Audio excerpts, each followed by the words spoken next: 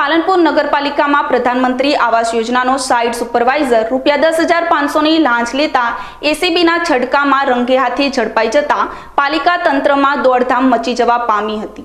લાંચ લેતા ઝડપાયેલા આ સુપરવાઇઝરે એક લાભાર્થીને આવાસ યોજનાનો ચોથા હપ્તાની કાર્યવાહી કરવા માટે મોસમોટી રકમની લાંચ માંગતા અરજદારની ફરિયાદના આધારે એસીબીએ ટ્રેમ ગોઠવવાની લાંચની લત ધરાવતો સુપરવાઇઝર ઝડપાઈ ગયો હતો.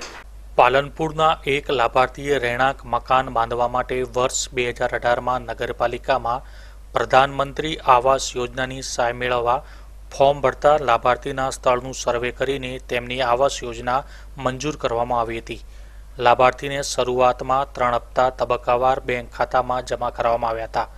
સમય વીતવા છતાં લાભાર્થીના બેંક ખાતામાં આવાસ યોજનાનો ચોથો હપ્તો જમા ન થતાં સાઇડ સુપરવાઇઝર નિર્મલ ગઢવીએ હપ્તો જમા કરવા માટે રૂપિયા દસ હજાર પાંચસોની માગણી કરી હતી. જો કે લાભાર્થી પાલનપુર લાંચ રૂશ્વત કચેરીમાં ફરિયાદ કરતા એસીબી પીઆઈ એન એ ચૌધરીએ તેમની ટીમ સાથે સોમવારે પાલનપુરના જીઆઈડીસી જામપુરા રોડ પર છટકું ગોઠવ્યું હતું, જેમાં સુપરવાઇઝર લાભાર્થી પાસેથી રૂપિયા દસ હજાર પાંચસો લાંચ લેતા રંગે હાથે ઝડપાઈ ગયા હતા. જેને લઈને લાંચની લત ધરાવતા કર્મચારીઓ પણ ફફડી ગયા હતા.